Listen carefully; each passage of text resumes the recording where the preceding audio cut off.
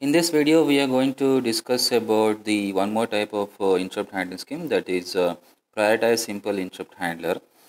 Uh, here, um, okay, the disadvantage that you had with the nested interrupt handler was like uh, the priority was not assigned. So that is what we discussed.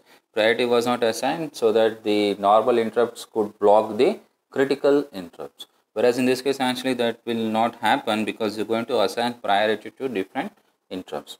When you assign uh, uh, different priorities to different interrupts, you're going to take uh, the interrupt with a higher priority. You don't allow the low priority interrupts to disturb the high priority interrupts. So in that way, you could uh, make sure that the critical interrupts they are not blocked by the normal interrupts. That is what you have has been written here.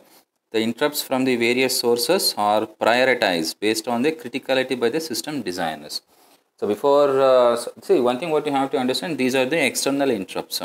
See when I say, when I say this interrupts means uh, this could be like the interrupts from the uh, timers okay? Interrupts from the timers interrupts from the UART okay?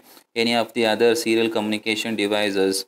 So all those interrupts it could uh, you have one interrupt controller a hardware which if it is a hardware level uh, priority assigning. So this will actually disturb the arm processor. So that is how it happens here. So this is one thing that you have to take care. Okay. So these these are the interrupts that we are discussing. That is not the internal interrupts that we have. What are different internal interrupts you have? It that is inside the arm itself. Okay. So the internal these are the external interrupts. The internal internal interrupts are like um, you have a reset interrupt. You have a software interrupt you have uh, what is that one? Abort. Both the prefetch abort and the data abort. Maybe you have the yeah so this is like if i say prefetch and the data abort. Okay maybe some undefined instruction.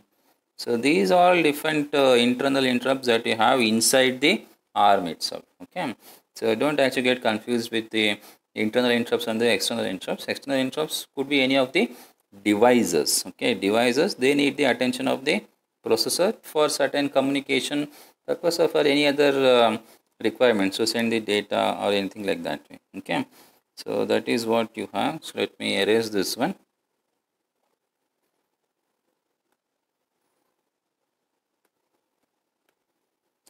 Okay fine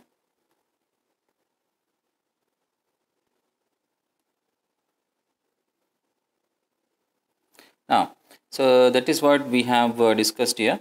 So interest on the various sources are prioritized based on the criticality of the system designers.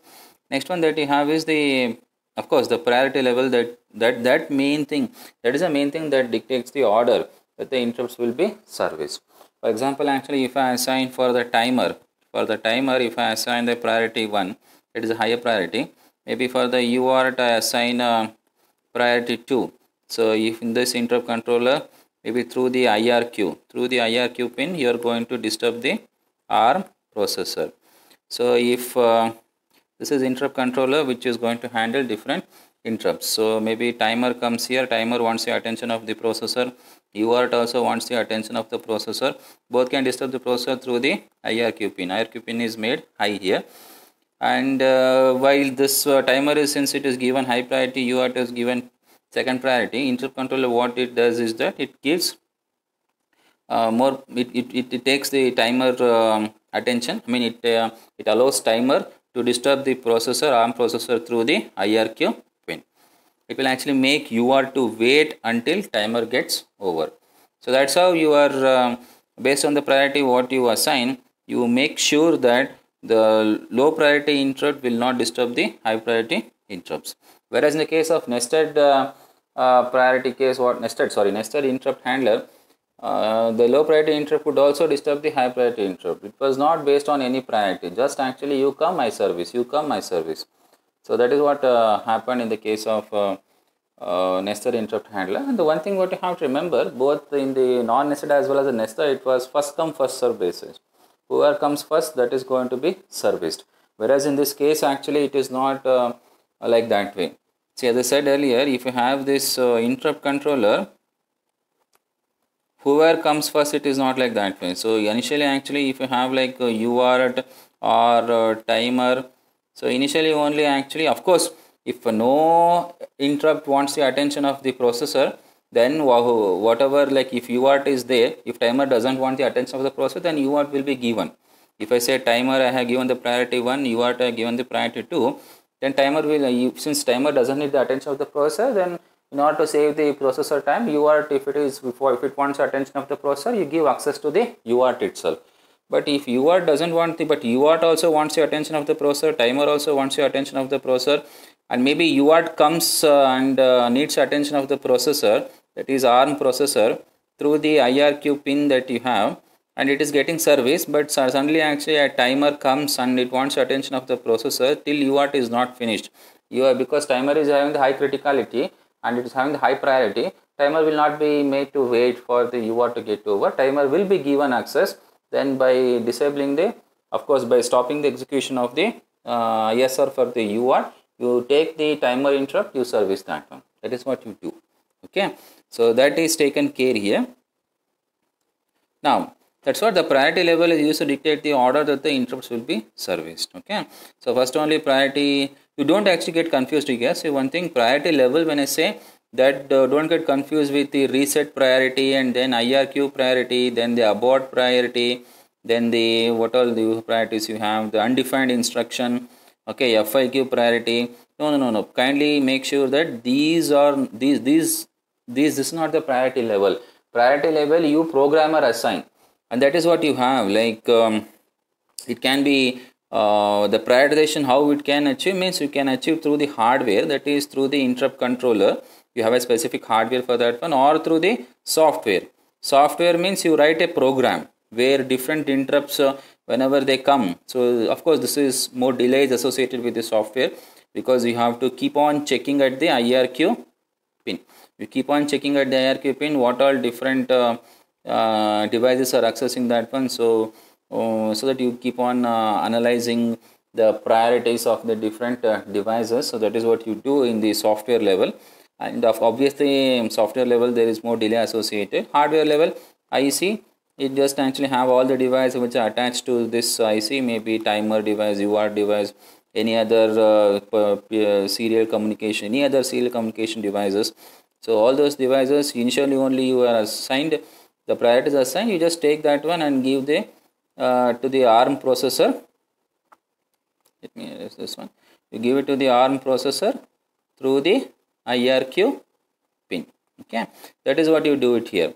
And uh, so obviously one thing what i just wanted to stress this priority level that you assign it is independent of the priority that is assigned by the arm processor itself. In the arm processor itself first only the priority level is assigned for the different internal uh, interrupts that is you have of course internal interrupt or external interrupt also i mean the, not the devices not based on devices see here for the reset or the abort uh, you have different uh, uh, priorities that are assigned. That is assigned when uh, designing the ARM processor itself. Internally, it will have all the priorities. You can't change the priorities of these interrupts, be it the undefined instruction, be it the prefetch abort, be it the data abort. They are all defined. Whereas with respect to these, maybe if you have a hardware interrupt, you can assign the priorities for these devices, or if you have the software level also, when you are doing the checking the IRQ pin uh, how, what all different uh, devices are there and how do you uh, make sure that actually the higher priority interrupt is picked up and that is done at the software level you write the program so in this case also it is not related to this one that you are writing. Whereas these things can't be changed. This priority level can't be changed. And this priority level that you give it to the devices. That is what you just wanted to stress here. Okay so after completing this one uh, what else is there? You can just observe here. This line is done so thus high priority interrupt will take precedence over the low priority interrupt that is one thing that is one sorry one advantage that you have with respect to prioritize simple interrupt handler because since you are assigning priorities to the different uh, devices uh, obviously to different interrupts so high priority interrupt will definitely be answered first then the then you are going to answer for the low priority interrupt this is what I said. Method of handling prioritization can be achieved in hardware or the software. Hardware means through the interrupt controller. That is what we say. IC. So interrupt controller. Okay. and this is software level you're going to write the program maybe you just write the program okay so it needs uh, more initialization code okay this is more initialization code is required why because whenever uh, uh, because when the program just uh, boots up okay from the reset mode initially actually when it boots up it is uh, going to assign like whenever interrupt controller when a specific hardware like interrupt controller is there which is attached to the arm processor okay so it has to make sure that what all devices that are connected to the interrupt controller they are uh, given some priorities. They are given some priorities. So that will take some amount of time. Okay that will take some amount of time. So that's why initialization when it boots up it definitely actually takes uh, more time. That's why require more initialization code also. Now interrupt latency is highly deterministic. Deterministic in a sense the high priority interrupt same thing. High priority interrupt decides. High priority interrupt decides how the low priority is going to be or when low priority interrupt is going to be taken. Because highly deterministic means you know that one interrupt latency is highly deterministic because you know that one because high priority interrupt is not going to be delayed okay? High priority interrupt you are not going to make um, high priority interrupt wait for a longer period of time okay? So that is what it's uh, highly deterministic means high priority interrupt uh, will be immediately answered uh, than the low priority interrupt. So high priority interrupt will be immediately answered than low priority interrupt that is what of course this is a simple um, block diagram that you have or the flow chart how the process. Instead of saying block diagram let me say the flow chart itself. The steps that are there whenever some uh, interrupt occurs. Whenever actually interrupt occurs first thing you disable the interrupt so that no other interrupt comes here.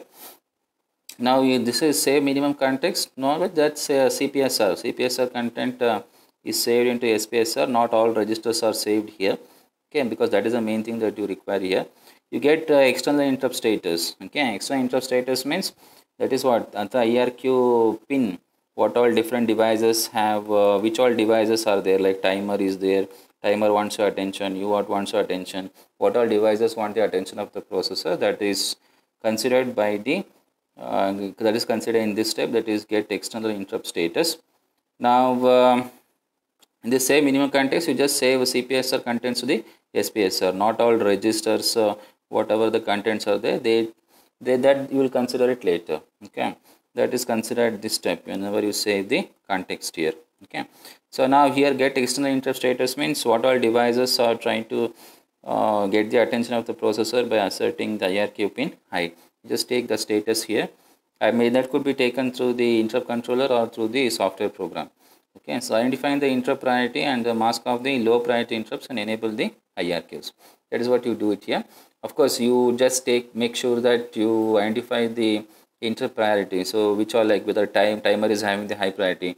When you get the status which all are pinching that you see that one. So which all whether UART is taking timer is taking you just see that one. You just see what all uh, priorities you have assigned to these different interrupts and just mask off the low priority interrupts you don't consider the low priority interrupts if it wants your attention at the same time at the same time. Okay that is you best mask off that one. Enable the IRQs and then when IRQ is enabled um, you just uh, timer whatever that is uh, accessing the whatever that wants attention of the processor that will be taken by the processor. So that will be taken by the processor. It just jump to the service routine. Of course when you jump to service routine you okay this is with respect to creating context means uh, maybe one interrupt that is for example since uh, one interrupt you are servicing maybe other higher priority interrupt comes. At that time you have to service the high priority interrupt right? So that is what you create the context so that um, all the register contents whatever that was there while servicing uh, this priority so you make sure that they are saved here. That's what you create the context. Context is basically uh, done to save all the register contents okay so context means the environment the environment that is surrounding the environment that was there well before uh, uh, interrupt occurred.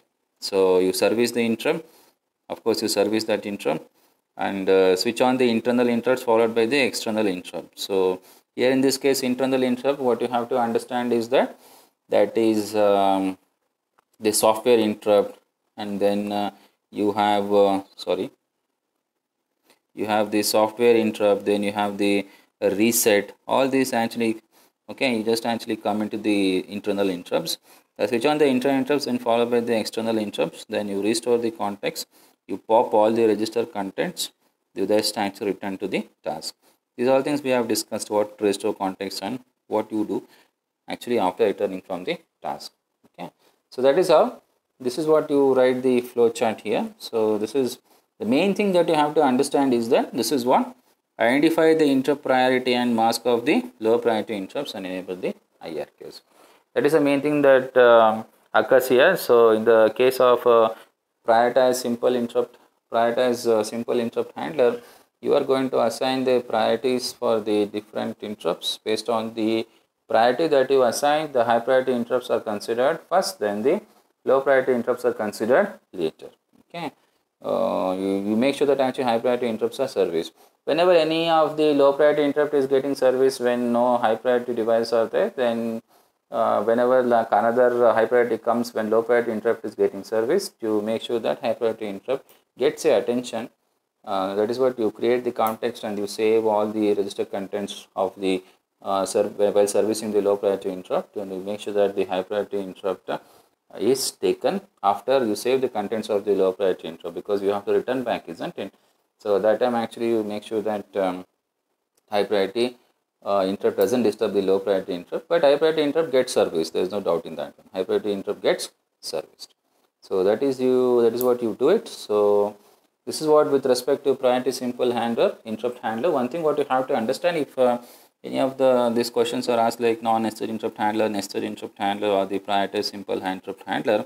Any of these three interrupt handling schemes, just um, uh, write these uh, steps that I have written here. So let me erase this one. You write these steps as well as this flowchart and briefly explain it. So that is what you have to do it. Okay, so I hope everyone understood uh, what I explained here. Okay, fine. Thank you.